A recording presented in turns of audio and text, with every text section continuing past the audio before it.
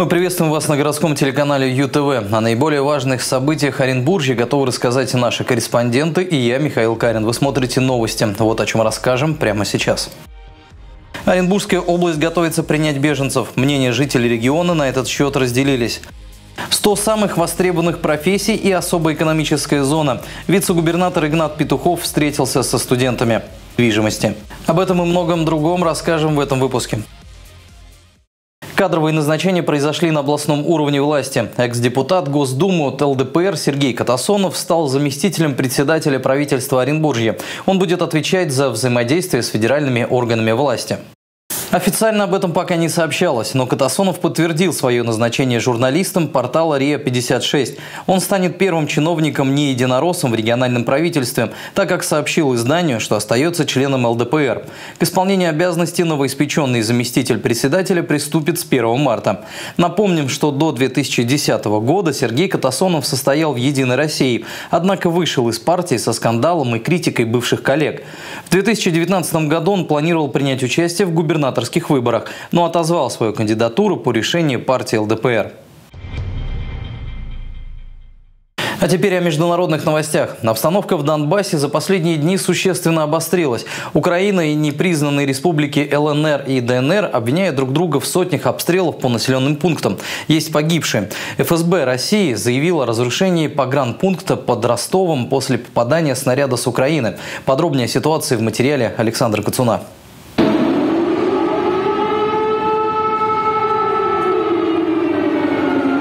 Обострение вооруженного конфликта на Донбассе произошло 18 февраля. Возможно, это связано с тем, что 15 февраля Российская Госдума проголосовала за признание самопровозглашенных ЛНР и ДНР. Власти Украины и республик обвинили друг друга в обстрелах городов и поселков. С тех пор в населенные пункты ежедневно прилетали сотни снарядов. Противник э, подтянул практически все свои силы на линии разграничения, как Донецкая Народная Республика и Луганская Народная Республика республики, поэтому э, все мужское население от 18 до 55 лет, э, согласно своего конституционного долга, должно прийти в военные комиссариаты, о чем мы и призываем.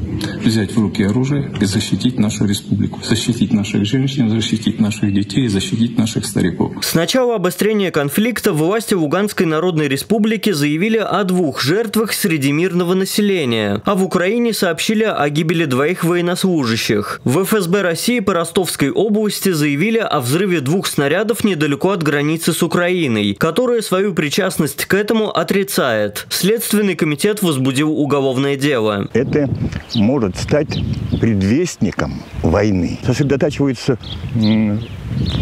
армия э, Польши, Румынии, э, прибалтийских республиках наших бывших это что, что, э, что это иное, чем подготовка к войне.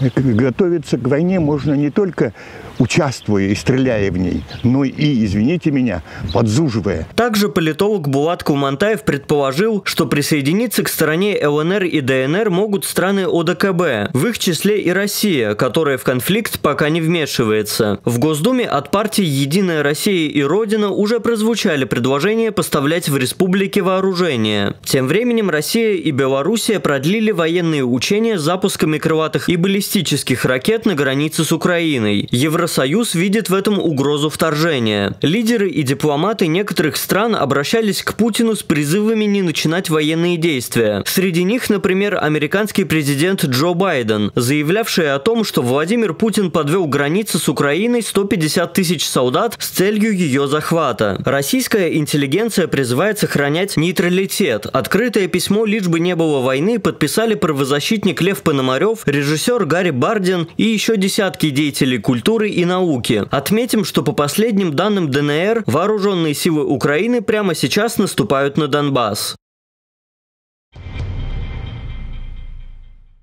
С начала эвакуации в Россию прибыли более 60 тысяч жителей Донбасса. В числе регионов, согласившихся принять беженцев, и Оренбургская область. В областном центре уже организовали пункты сбора гуманитарной помощи. Правда, не все оренбуржцы готовы ее оказывать. Многие раскритиковали власть за готовность тратить деньги на это направление в условиях бедности собственного населения. Тему продолжит Юлия Тюшевская. Здравствуйте. Здравствуйте. Дети играют, он рисует. Так выглядит комната матери и ребенка в одном из пунктов временного размещения в Ростовской области. Пока родители решают вопросы с документами, с их детьми занимаются волонтеры. Местный общественник Виктор Троицкий признается, условия для размещения беженцев хоть и создавались оперативно, но жалоб от жителей ДНР и ЛНР пока не поступало. Набрали активистов, добровольцев, которые сейчас помогают, э, помогают составлять документы, э, переносить документы, копировать, э, встречать жителей, сопровождать жителей. Мы понимаем, и жители также понимают э, города Ростова-на-Дону, Ростовской области, что э, жителям ДНР и ЛНР пришлось бросить все свои вещи, бросить свои дома и уехать буквально там, собрав сумку вещей.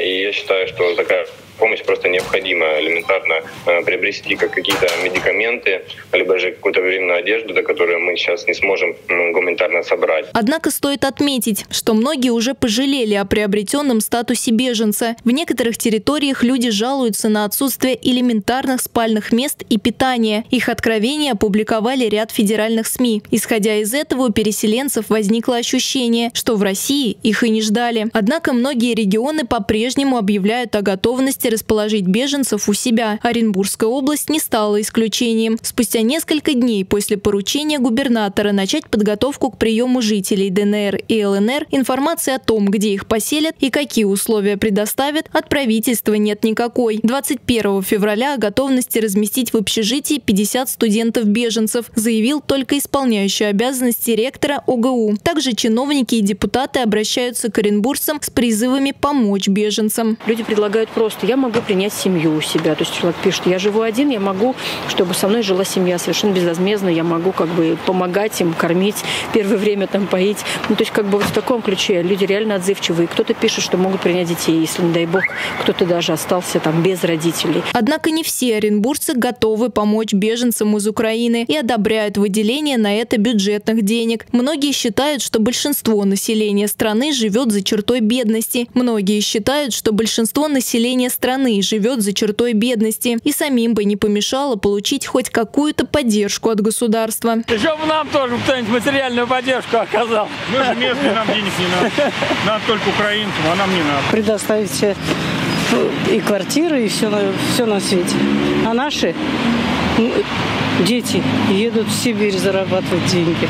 Не предоставляют никаких услуг. Мне кажется, стоит помочь, потому что мы все люди, мы все живем в одном мире, и нам нужно помогать друг другу. Не дай бог, ну, как бы и наша страна может в такой ситуации оказаться. Ну, это, конечно уж так. Ну, поэтому, не знаю, я лично не против.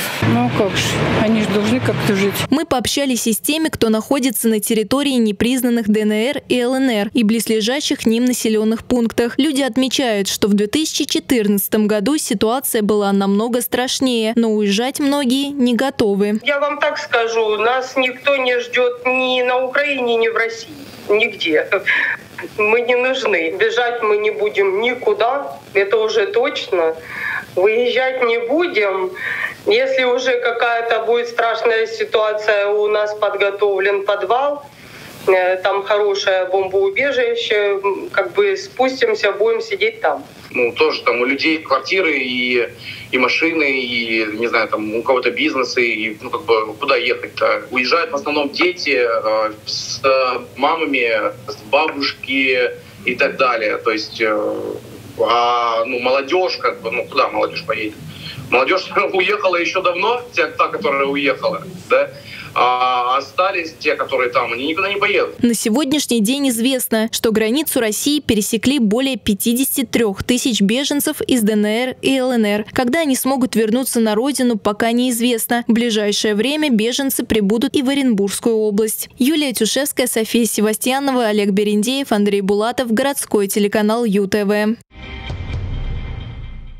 Оренбургская область без проблем сможет принять беженцев из ДНР и ЛНР. 2014 год, когда жители Донбасса уже эвакуировали в наш регион, показал, что ресурсы для этого есть. Такой позицией поделился главный редактор интернет-портала Орен Медиа Игорь Комиссарчик. Подробнее в рубрике «Экспертное мнение». Встретите на улице переселенца из Донбасса, вы даже не поймете, что это он. Он ну, говорит так же, как мы, да, читал те же книги, о том же рассказывает, также работает в каком-то там магазине или на заводе. Ну, никакой разницы социальной нет. Такие же люди, просто приехавшие оттуда. То, что это раздувается, да, то, как много об этом говорят, это вызывает протесты. Но в реальности я вот не помню ни одного конфликта. Большинство людей понимает, там война. Ну, нормально, что оттуда уезжают. Что поделать, это жизнь. Это братские э, республики, это один и тот же народ. Поэтому, когда тревожная ситуация в другой семье, родственной, тут нет вопросов. Выбирать, не выбирать надо. У нас есть и пионер-лагеря, у нас есть и санатории. Регион э, 56-й Оренбургская область готов ровно в той степени, как другие регионы. Сейчас общая экономическая ситуация везде плохая. Поэтому, конечно же, нужно исходить, конечно, очень аккуратно, но учитывая то, что у нас миграция идет очень серьезнейшим образом, отток населения – может быть, это как-то сыграет свою роль. А вот насчет влияния на экономику региона мнения экспертов разошлись. По словам члена Общественной палаты Оренбурга Сергея Сапилова, беженцы могут ускорить экономический рост региона, если исполнительная власть правильно распределит их по рабочим местам. Если мы говорим про работящую семью, которая пережила тяготы войны, которая не уехала до последнего, которая работала, которая себя сама обеспечивает, это вообще во благо Оренбургской области. Тогда это будет колоссальный, э, так сказать, колоссальные вливания в Оренбургскую область. Можно и программы соответствующие придумать, и вытянуть э, средства, ресурсы от федерации на постановку рабочих мест, сельхозпредприятий. Если бы мы были шахтерским регионом, они бы сюда ехали. Э, да, если бы здесь были какие-то предприятия, схожие с тем, что есть в Донбассе, сюда бы ехали люди. Э, я сомневаюсь, что сюда поедут работоспособные мужчины, они скорее останутся в Ростове. Мы говорим там о какой-то тысячной, может быть, доля процента от рынка труда. Ну, то есть это никак вообще в экономике не отразится. Это отражается исключительно на общественных настроениях. Об этом говорят намного больше, чем этого будет в реальности. Вице-губернатор Оренбургской области Игнат Петухов призвал студентов участвовать в экономических проектах региона. На встрече со студентами он рассказывал об особой экономической зоне, в строительстве которой может поучаствовать и молодежь. На встрече вице-губернатора со студентами обсудили различные волнующие молодежь вопросы, в том числе и отток молодых людей в Москву и Питер. На призывы Игната Петухова участвовать в экономических проектах региона представители стройотряда сообщили о трудностях совмещения практики с работой на стройке и проблемах со вступлением в стройотряд иностранных студентов. У нас есть студенты из Казахстана. Они хотят вступать в студенческие отряды на Оренбурге и работать. Но с учетом того, что они из Казахстана, их трудно устроить куда-то. Мне вот нужно узнать, можно ли их в Оренбурге как-то устроить, чтобы они проходили целину или как-то вот, чтобы работали они. У нас в области работает много компаний иностранных, у нас много иностранных инвесторов, у них работают граждане со, всей, со всего мира. То есть есть и итальянцы у нас в Саракташе, которые занимаются, ну, компания Оренбиф вы прекрасно знаете. Поэтому если там нет ограничений с тем, что компания работает и работают иностранные граждане, то почему для молодежи должны быть какие-то ограничения с точки зрения стройотряда? Студентов также интересовала ситуация с дополнительным образованием в Оренбуржье. По словам Игната Петухова, правительство работает в связке с предприятиями и планирует открыть 43 учебных мастерских, чтобы местные производства и организации получали для своей деятельности современных специалистов. Наша, на самом деле, основная цель, чтобы любой ученик, выпускник 9 класса, когда поступает в колледж, он уже поступая в колледж, понимал, сколько он будет на выходе зарабатывать. Ну и четко понимал, я буду зарабатывать 55 тысяч, если у меня будет вот этот, вот этот и вот этот сертификаты. Или я буду зарабатывать 30, если у меня вот этого сертификата не будет. И точно так же с вузом. К сожалению, показатели эффективности у преподавателей, они вообще никак не зашиты на то, где вы будете работать. Студенты рассказали на встрече о желании создать отдельные женские стройотряды. На сегодняшний день в стройотрядах Оренбуржья в основном состоят молодые люди. По словам вице-губернатора, важно, чтобы кроме создания комфортных пространств для досуга, на рынке Оренбуржья появились новые современные компании и производства, где смогут работать парни и девушки. Тогда не будет большого оттока молодежи в Москву и Питер. Елена Кудаева, городской телеканал ЮТВ. На этом мы завершаем наш выпуск. Еще больше новостей смотрите на сайте utv.ru и в инстаграм-аккаунте UTV Орен. Также подписывайтесь на наш телеграм-канал UTV Оренбург. В студии был Михаил Карин. До свидания.